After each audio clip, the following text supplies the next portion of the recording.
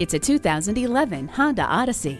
A tilt and telescopic steering wheel, remote power door locks, stability control, front, second, and third row headrests, power mirrors, and steering wheel cruise controls all come standard in this versatile and value-packed minivan. Select the perfect temperature with the climate control. Program garage door openers, gates, and lighting systems with HomeLink.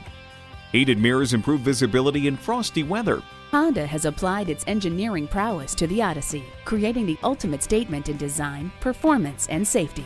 Come on in today and see it for yourself.